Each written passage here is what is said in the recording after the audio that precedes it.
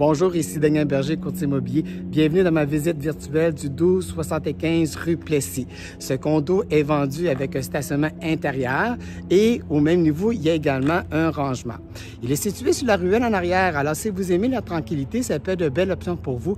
D'autant plus qu'il est situé au dernier étage, soit au quatrième, avec un ascenseur dans l'immeuble. Alors, sans plus tarder, allons voir l'intérieur.